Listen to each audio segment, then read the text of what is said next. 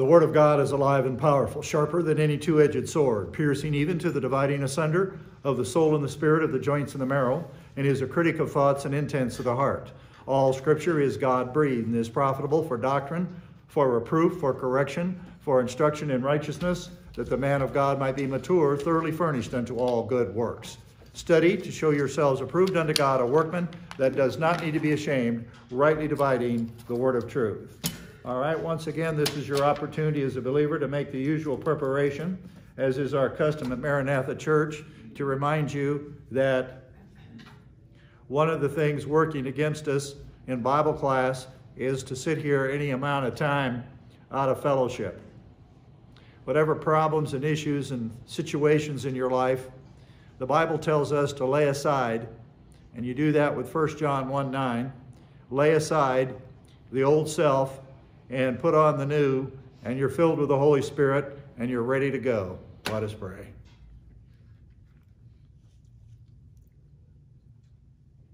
Father, we thank you that greater is He that is in us than He that is in the world. We thank you that our faith in Jesus Christ has overcome the doom of the world.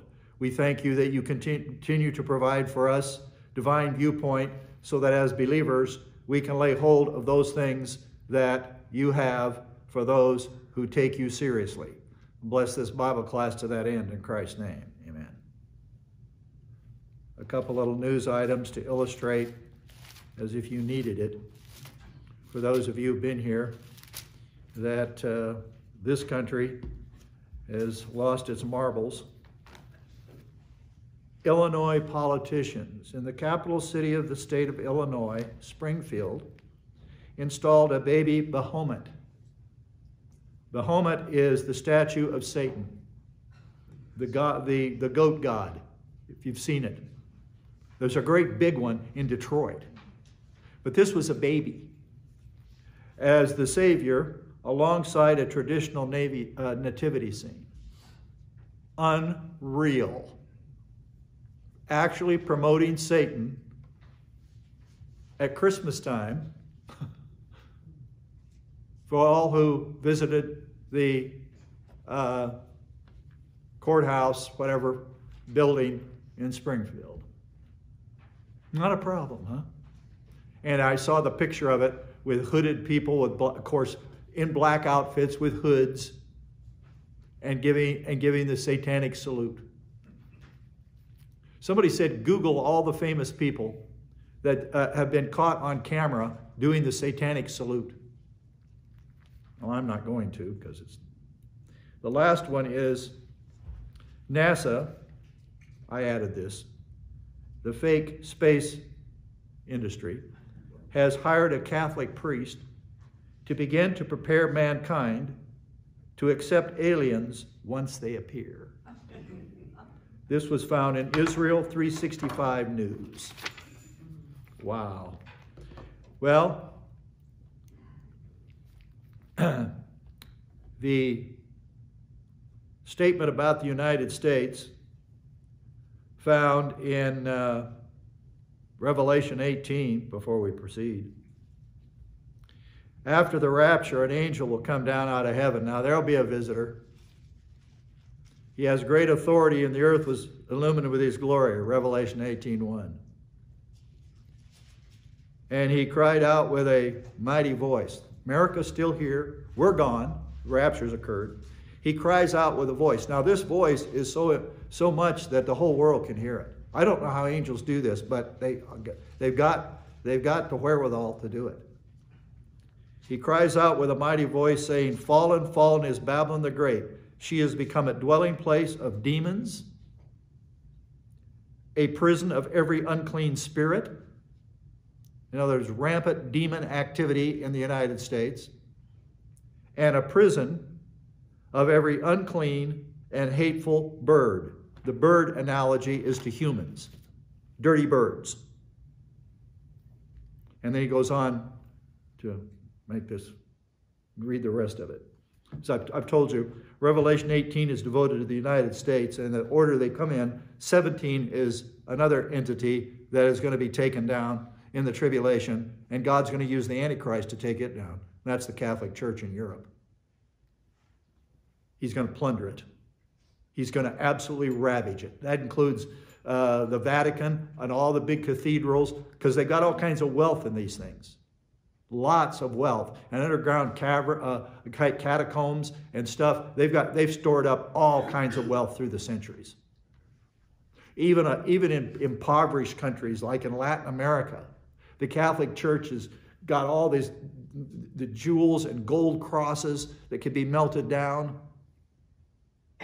And these poor people come and throw their money in this little trough and support this, this evil. It's going down too. God has a case against it. All right, back to Romans 8. I want to touch on these two verses we covered in the second session Sunday because it struck me because of one word in the verse. Well, the whole verse, you have to have the whole thing, but the one word jumps out. So then, brethren, we're under obligation, not to the STA, the flesh, to live according to the flesh. And if you are living according to the flesh, you must die. That's the sin unto death. The sin unto death is the end. Okay, take a believer, once saved, always saved. Take a believer who dies not in the directive will of God, advancing spiritually when the end comes, and they, they die the sin unto death. They die the sin unto Put another way, they die without honor. Oh, they're graced out. They go to heaven, just like anyone else. So they don't have, and they don't, they don't enjoy another aspect of grace that is reserved for those who are glorifying God when the time comes for them to go home. Called dying grace. He gives special grace. God gives special grace for every test and every situation. They can die with plus H and inner peace. That's, that's a reward for the obedient believer.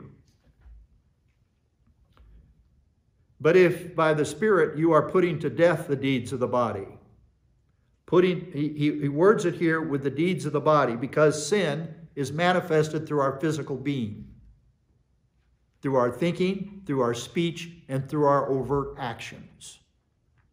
We produce sin. And if we are putting to death these things, that means we are either faithfully hitting the rebound button and or we are resisting the urge to commit a particular sin.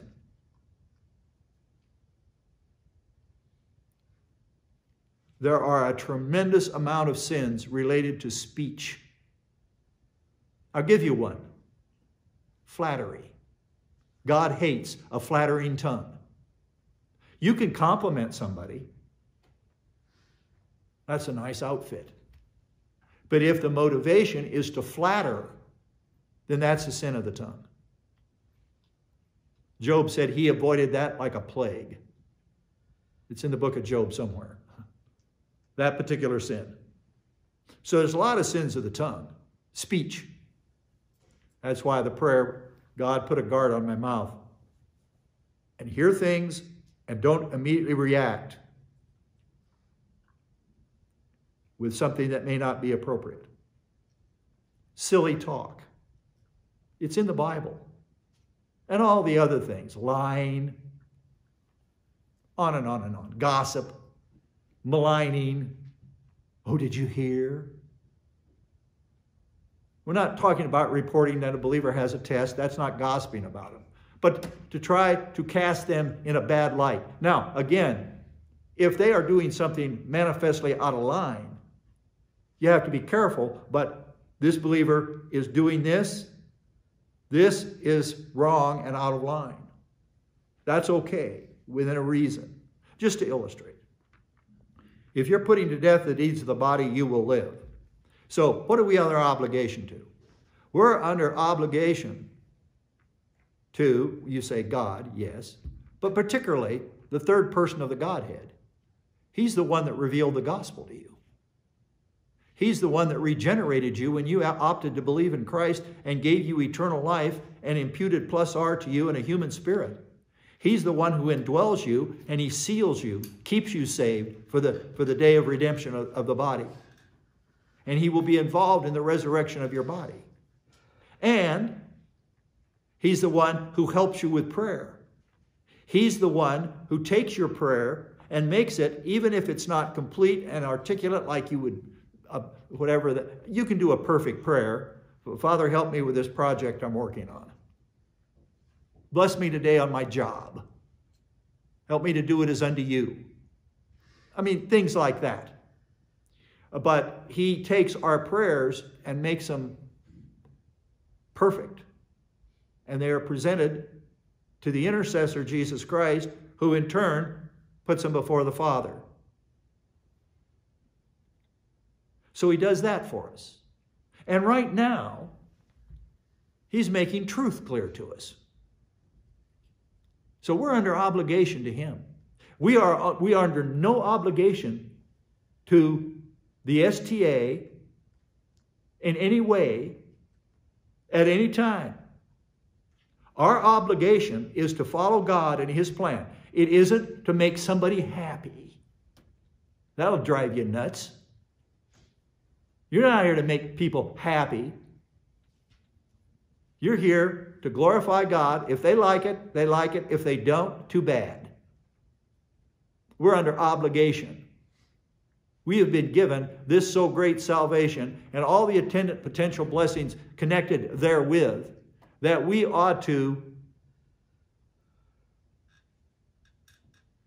glorify God and not grieve and quench God the Holy Spirit. That's our obligation. It includes all the imperatives of Scripture. I got to be in Bible class. I got to get there. I got to get there. Get up. Oh, I don't feel good. Oh, it's a little late. You come here 10 minutes late. We don't care. Sit down in the foyer if you want to. Make it a, make it a priority. Make it at least an equal priority to you getting to your job location on time and ready to do your job. All right, moving on.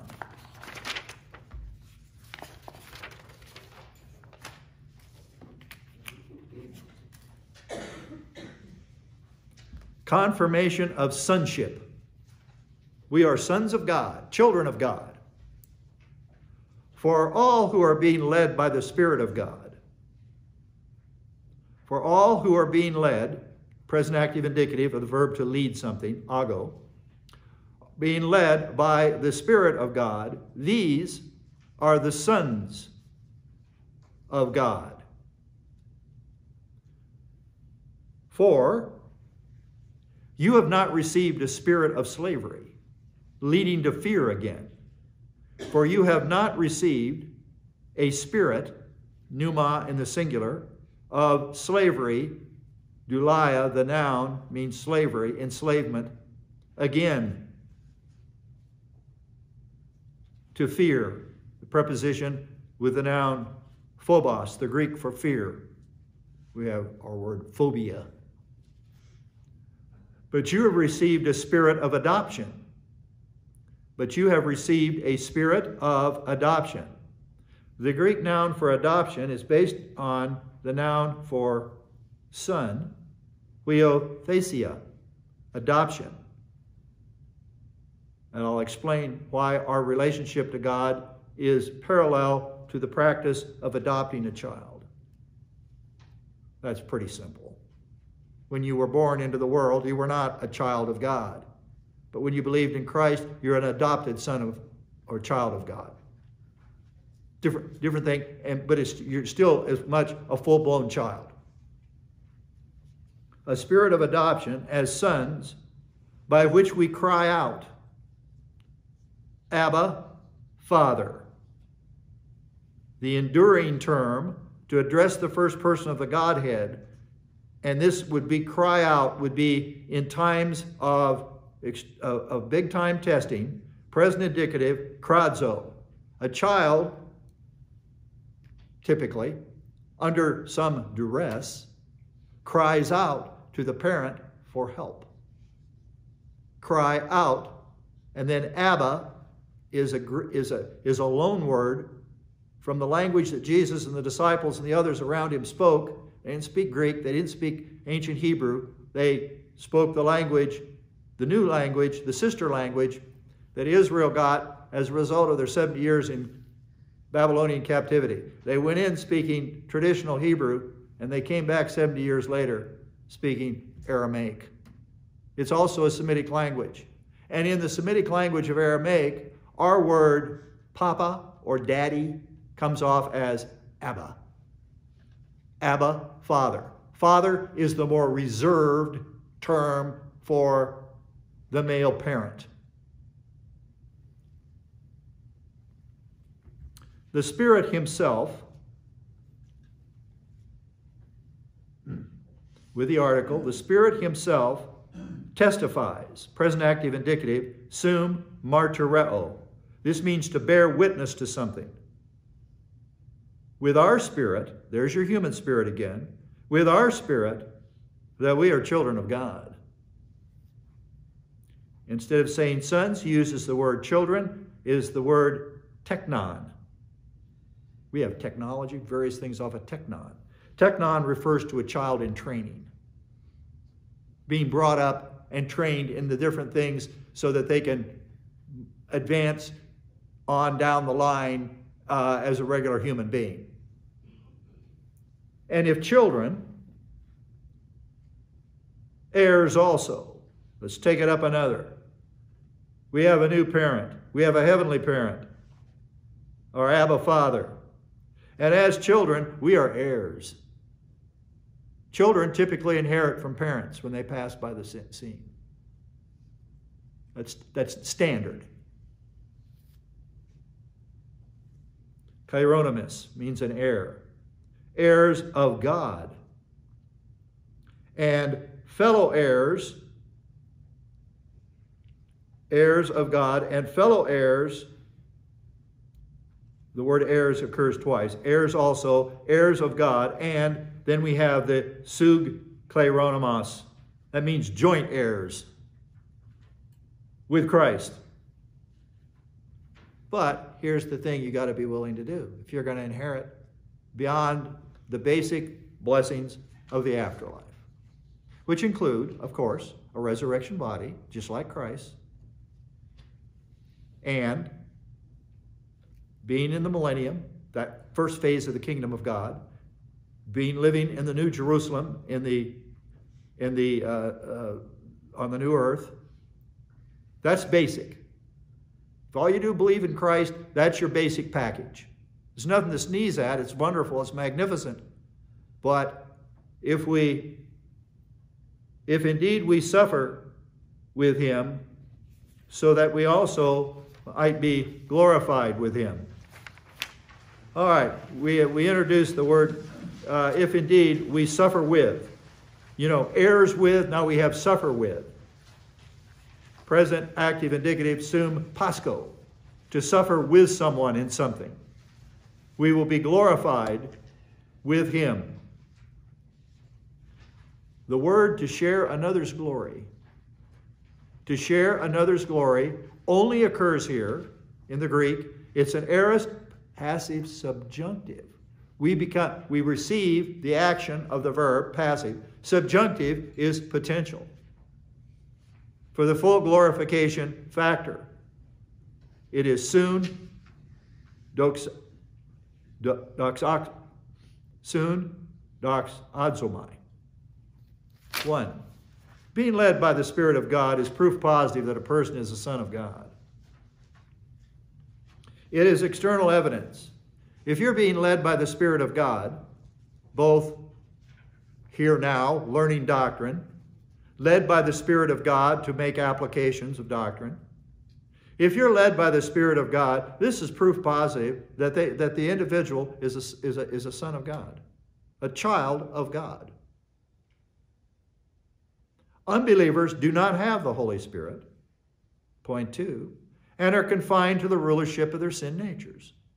You see it all over the place with its attendant constant blatherings of human viewpoint, all the usual STA stuff. I don't care how successful they are, how educated they are, how attractive they are. Big deal. Doesn't cut any ice with God. None. Because they are ruled by their sin nature, and it is surfacing in all kinds of little ways. They not be, might be some super corrupt person, but you see it. You hear it in what they say and how they relate to things. They like to boast, brag about things as per, give, as per giving God credit for something. Oh no, forget that one. They may try to do it discreetly, not obnoxiously, but they do. They like to tell what they've done and what they've accomplished and all the rest of it. There is no sanctification of it with God blessed me, helped me, got me through this uh, as I was a growing believer. No. They like to boast where they've been, what they have, who they've met. Like to name drop. It's all vanity. It's all emptiness, and God is not impressed with any of it. That's the whole thing of pushing these celebrities in our face. Where's yesterday's celebrities? Where's a Marilyn Monroe? Where's she now? For all of her fame and everything in her life. And it comes down to a death that people debate as whether it was an overdose or she got herself murdered. Oh, that'll come out in the, in the wash too. All believers in Christ have been led by the Holy Spirit at least one time. When the Holy Spirit was active, when they were hearing the gospel presented to them and they accepted it, that, that's being led by the Spirit. The convicting ministry, or I also call it the convincing ministry in John 16. And one of two reactions. The person believes or they don't. And if they don't, you know what they're calling the Holy Spirit? A liar.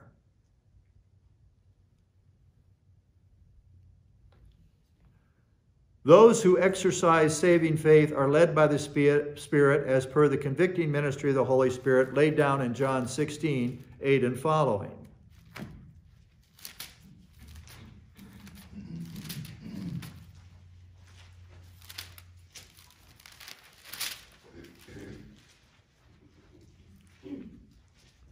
After Jesus says, Look, I'm going something the disciples didn't want to hear. He, he told his disciples, I've got to go away. I've got to go to the next phase of my history. And it isn't staying here indefinitely on this earth.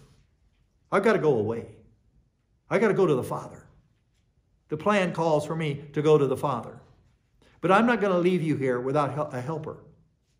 He's also called a comforter, but he's a helper. And he's a very good one. The difference is, unlike me, you can't see him. But he's every bit as real. And of course, the sending of the helper occurred on the day of Pentecost at the onset of our dispensation.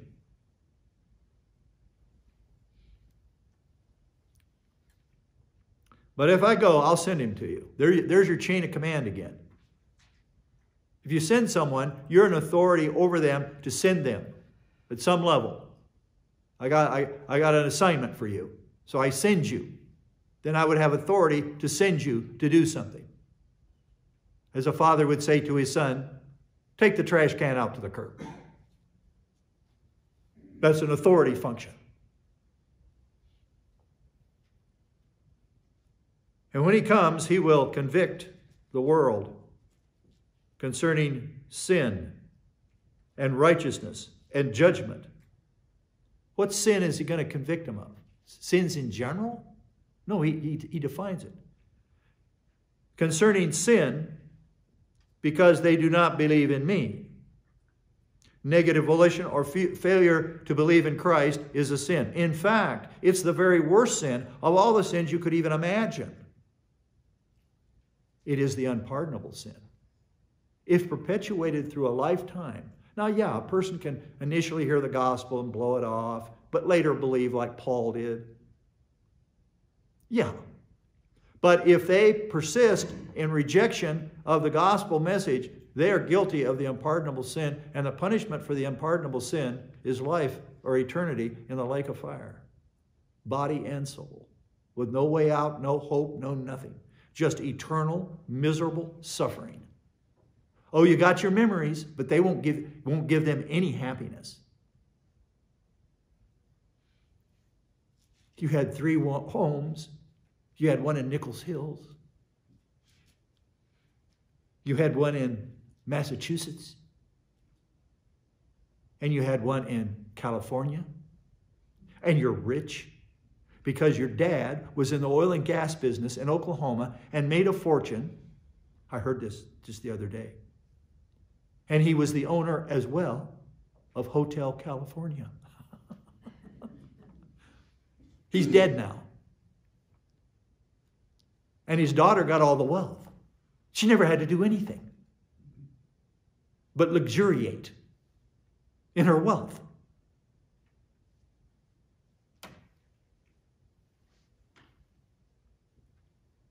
No pleasant memories for the unbeliever after he or she dies. Nothing but eternal misery. You can't kill yourself. You can't get out of there. The rich man in hell. Remember the story? You had all the good things. Remember, buddy? You had all the good things.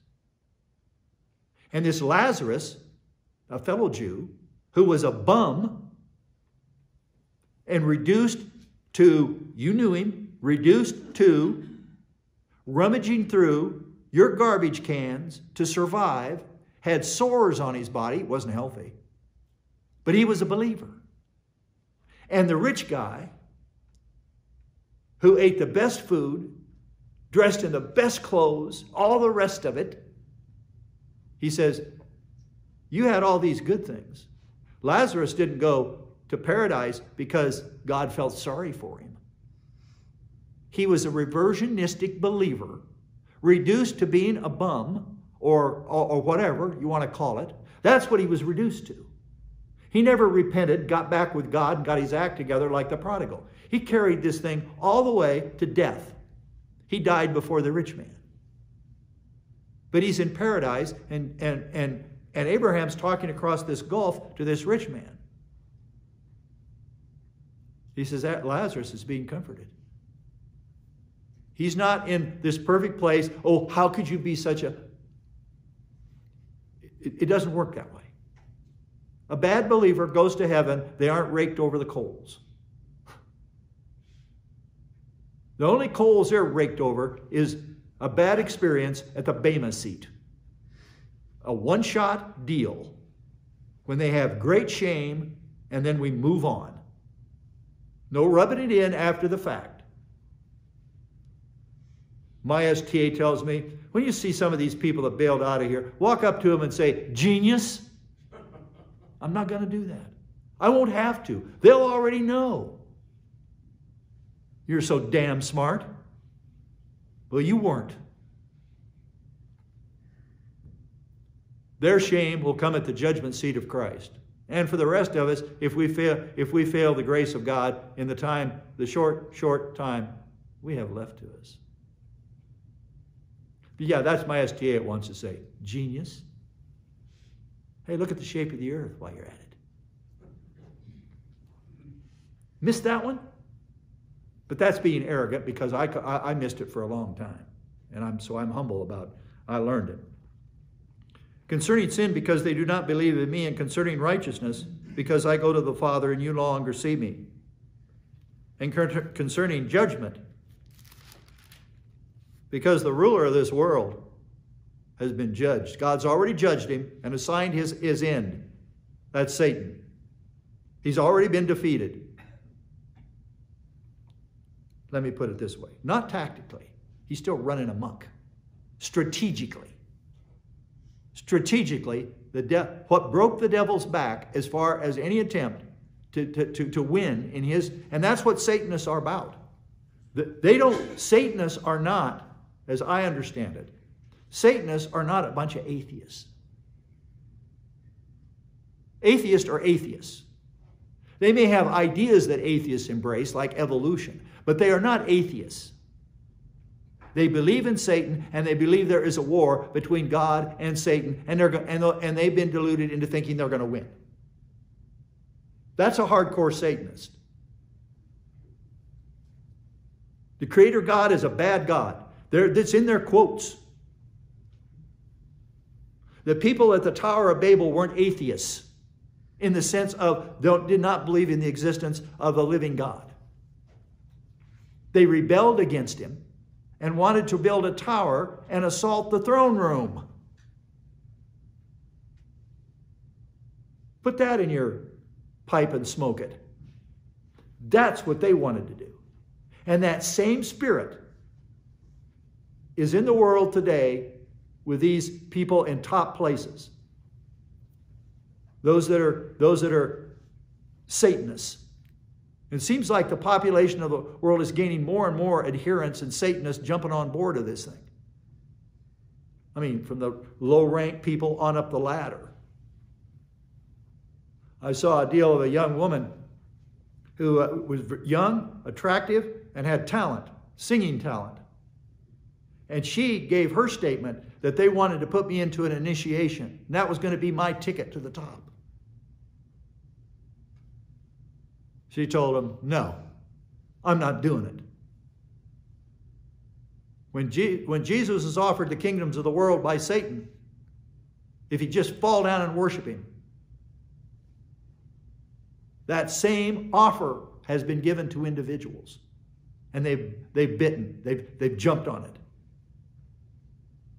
The road to fame and wealth I'm not saying everybody that's in a high position did that. I'm just saying that this, this does occur more than you and I might think. There's a book written by a, by a, a scholar, an Englishman, back in the 1800s. I forgot his name offhand. Robinson, R O B I N S O N. That's his first last name. He was a he, he, he, you know, Oxford, one of those big Cambridge, I don't know which one. I mean, a scholar and everything. He says, I was, rec- I was recruited by what we call the dark side. I was recruited because I was so articulate and had all this intellectual that I could really put this down. And he wrote a book, Proofs of a Conspiracy.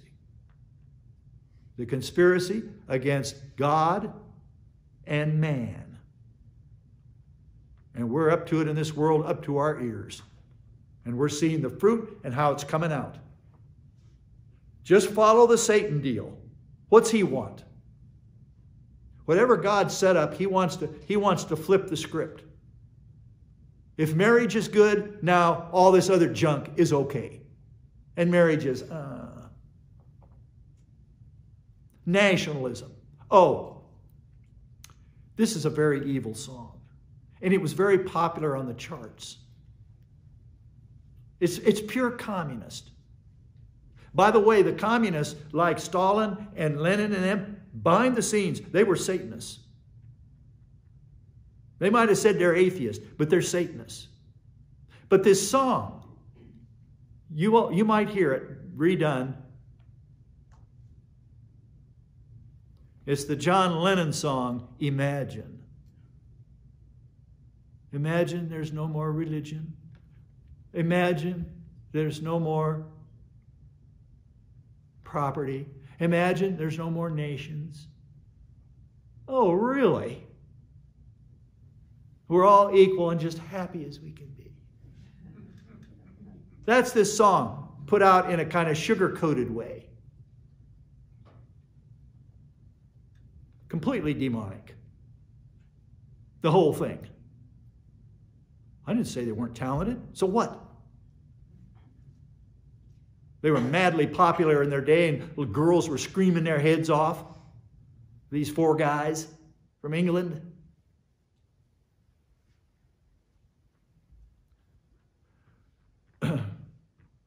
we have been given, we have five, we've been given the Holy Spirit to lead us into all truth. May I underline all truth. As someone said, Oh, I can fellowship with them as long as they have the gospel, right? That's all. And they're a comfort. A comfort. Well, I want more than that. Yeah, I want the gospel, right? And I want to be around people that are an encouragement. Some believers aren't. By their attendance and their good attitude and their applications. That's a comfort and things they say to me as in passing. That's a comfort. But I want more than that. I want the realm of doctrine, insofar as we have, we have been working on it all these years. I'm not one of these that sits back and says, Well, I don't care if the pastor doesn't teach through Genesis or any other book. Really? How does that square with the Bible? Don't listen to these people that naysay the importance of Bible doctrine, verse by verse and doctrine by doctrine. What blows my mind is that you can be hear it for years and walk away from it. For the pablum, for the watered down. Well, they got this right. Was that all I have to do is have that right? It isn't good enough. It's enough of a challenge to do it right that it is to say, well, it's just watered down. That's why we have the lukewarm church. The lukewarm church will not endure sound doctrine, and a pastor up here with authority teaching them Bible doctrine. He's got to pander to them in the name of God. He's got to have an Easter service and a Christmas service. No, really, he does. He can't just say, that's a bunch of junk. How long do you think that'd last for him? Stand up there and say, don't lie to your little kids about a rotund man with gray hair and a red suit that's supposed to be up in the Arctic. It's a myth. Every good and every good and wonderful gift comes down from the Father of lights. And don't come to me ever and say, "Well, it's just fun." The ancient pagan kids had fun, dancing around, doing all their stuff. Satan realized, well, I can't sell them paganism like I used to, so what we'll do, we'll, we'll, we'll mix it with Christianity. And see how they like that. The early Protestants would have nothing to do with the typical holiday. They didn't. But they finally gave in because it started with the Catholics. Again, holiday comes and holiday goes. You can go out and eat and have fun. You don't have to vibrate because. And you give someone a gift. But I don't even know what Merry Christmas means. I don't even think they do. Does that mean just have a good time, Jack? Did you have a good time? But I didn't have to do it, wait to the 25th. What's the word Christmas mean? Christ Mass. Catholic. It's like Happy Easter. Happy Ishtar. Goddess of love. Don't believe me? Look in Webster's dictionary. The derivation of the word Easter. It comes from the Babylonian sex goddess Ishtar. Okay? So we'll mix bunny rabbits, eggs, and the resurrection of Jesus Christ and have a good old day. Both of which my grandson said, some teacher at school, his school, that this was a year or two ago, so some teacher girl says, oh, oh, well, what's about, what's the deal with uh, rabbits and chicken eggs? She says, oh, it's just about life. Well, if she's a Christian, and I doubt she probably is, that's not a good witness. That's not a good witness. We're to bear witness to the truth. As the cashier said to me, Happy Easter. I says, What's Easter mean? She says, Oh, it means Passover. No, it doesn't. Not in a million miles. Jewish Passover has nothing to do with that. Because the word occurs Easter one time in the King James Version, because whoever translated Acts had an axe to sharpen and threw in their little Easter deal.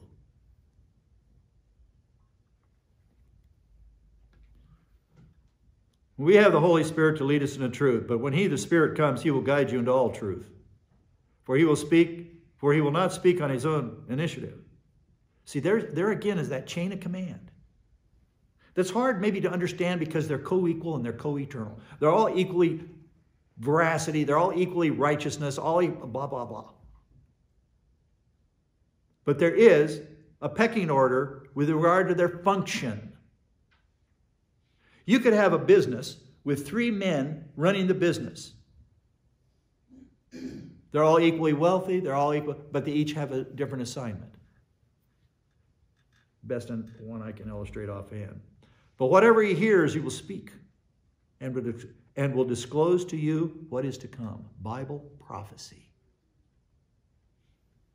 The things necessary to be led by the Spirit positive volition, doctrine in the human spirit, isolation of the sin nature.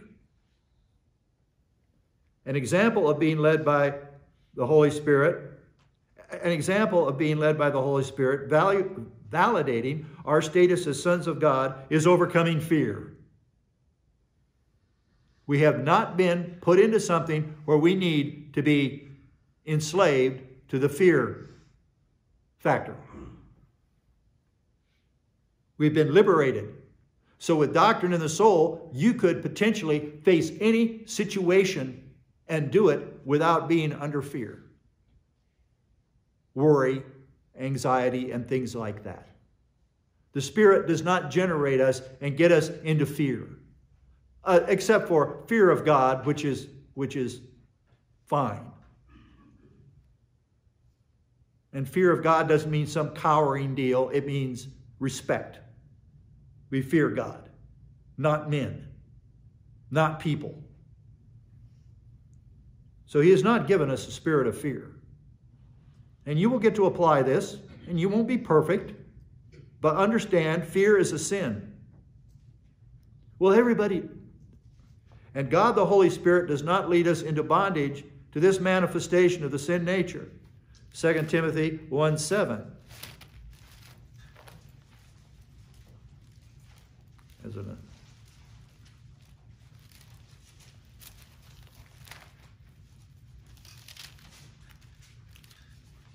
Here's the believer on top of things spiritually. The positive believer that knows their ground can't be intimidated. For God has not given us a spirit of timidity. That could be translated God has not given us a spirit of cowardice.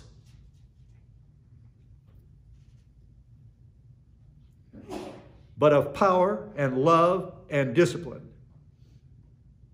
Therefore, do not be ashamed of the testimony of our Lord or of me, his prisoner, but join with me in suffering for the gospel according to the power of God. Okay? So fear is not to be a part of the believer's life. You're going to hear bad things, threatening things. Fear mongering is what they're doing in our world today to scare us into the New World Order, get us to jump through all their hoops. Fear.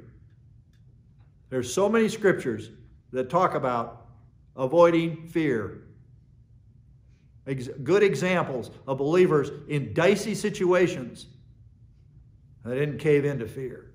Because when you cave into fear, you're miserable, it doesn't change anything, and you make some false moves. So we're not to worry. We're not to fret. Some people take pills because of this. Some people are so miserable that the least little thing drives them crazy. You're going to hear all kinds of dire reports and everything. How much truth is in all of them, who knows? We're not to fear. We're to serve God and avoid this bondage. The verb again refers to the time before our salvation. Fear was always at least in the background. To live under fear is a form of enslavement, as is any ST activity. What is the universal fear that unbelievers live under? Fear of death, the unknown, what's beyond this life, nothing or something bad. Because they've heard some kind of description of the underworld, the afterlife, hell, whatever you want to call it. Fear of death, according to Hebrews 2:15, and might free those who through fear of death were subject to slavery all their lives. Always out there. They say people can't go through a single day without at least once thinking about their death. I do. My end. I want it to be the rapture, but that's God's call. Okay? So that they can dismiss it. They can put on a cavalier front. I'm not afraid to die. Bravado. But there's something there that nags the unknown, the potentially what comes next, if anything. So, fear of death. We're liberated from that. If you're going to fear something, fear that you fall short of God. Work out your own salvation with fear and trembling. That's sanctified fear. What's salvation? It's not phase one, it's phase two. There's two salvations. There's the one that keeps us out of hell, and the other one keeps us out of shame and loss at the Bema seat to the point that we can't celebrate. Thank you, Father, for the time together. May God the Holy Spirit continue to be with us, guide us, and direct us as a local church as we approach the end. In Jesus' name, amen.